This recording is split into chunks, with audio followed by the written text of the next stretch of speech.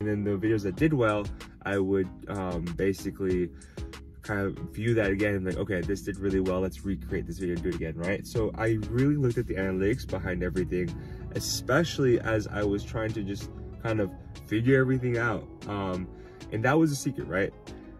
You have a long form youtube video um, especially what i'm doing right now with with the channel is that every video 30 30 seconds to 60 seconds or 30 seconds or less youtube short and then after that i would post that all on YouTube.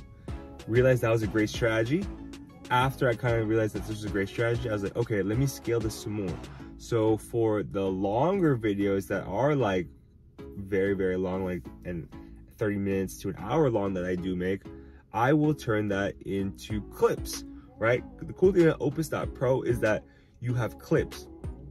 And in these clips, you can like have the AI or the algorithm or the AI Opus.pro turn your video from a 30, 30 minute video to a three minute to five minute video. So you'll have like seven clips for that one long form video and you have more content there. So you're getting that one 30 minute video is freaking crazy guys. That one 30 minute video will turn to like seven long form clips and then like 15 to 20 um, short form clips. And then what you can do again is you can run it through the opus.pro again and then post it again because it will take different clips from the from your video and you have more content, right?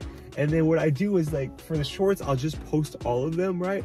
And then for the clips, what I'll do is like I'll create, I'll use the original thumbnail for that long 30 minute video and then just add like new small details to it. So that way it's like, oh, there's, there, the people can tell this is a clip. It has like more details to it.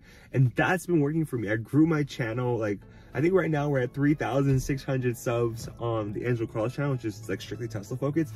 I think it's gonna keep growing more and more and more because we're getting like a quarter of a million views every 28 days, which is crazy. That's a form combination of shorts and long form video.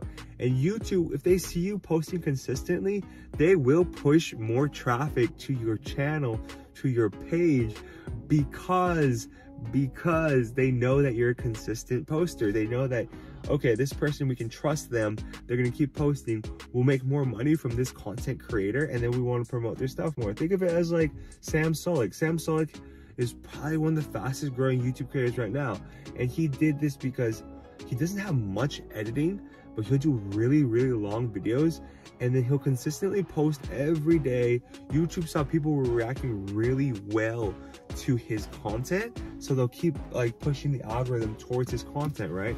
You gotta realize Alphabet Google, it's a business, okay?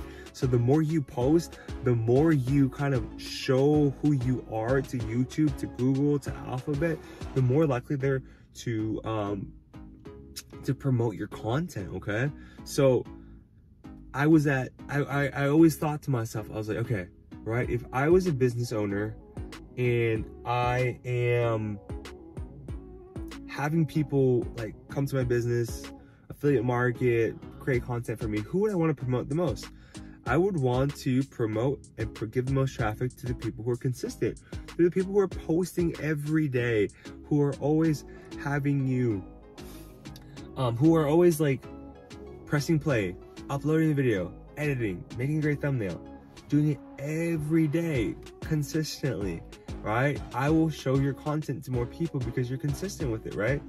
And then once you're extremely successful, once you have like a million subs, once you have like 2 million subs, then you can take your foot off a break a bit, right? But for those of you who are kind of coming up through the grind right now, trying to figure everything out, you need to post every day.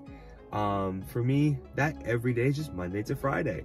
And then Saturday and Sunday, I'll have like the AI um, look at my old clips, turn it into YouTube shorts or like shorter clips and, and I'll post that, right? I don't make content every day, but the days I do make content like Monday to Friday, I will post that every day. So that's how I kind of became consistent. That's how I started making $250 uh, or 266 to be precise um, during that past month of YouTube. And I think is gonna go up more because that past month of YouTube was what, April? And the when I'm filming this right now, it's, it's like May. And the thing is with when when you're when you're filming content, YouTube has seasons, right? And the reason they have seasons because I learned this at YouTube, I learned this at Google, was that they have seasons where advertisers spend more money.